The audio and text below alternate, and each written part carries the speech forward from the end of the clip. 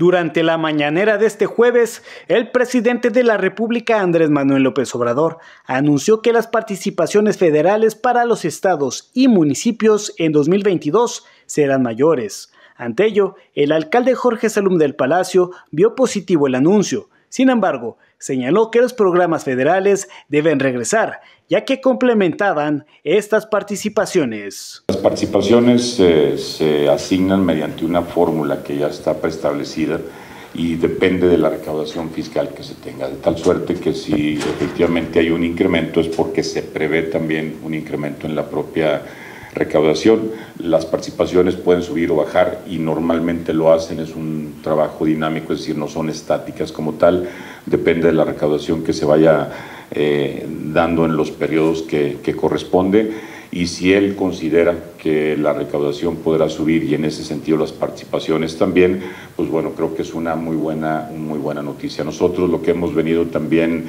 pidiendo a través de los eh, diputados federales y en donde, por cierto, algunos presidentes municipales estaremos también en el Congreso de la Unión la próxima semana, es el restablecimiento de algunos programas que existían y que ya no que ayudaban a complementar precisamente las participaciones. Las participaciones normalmente nos ayudan al trabajo cotidiano.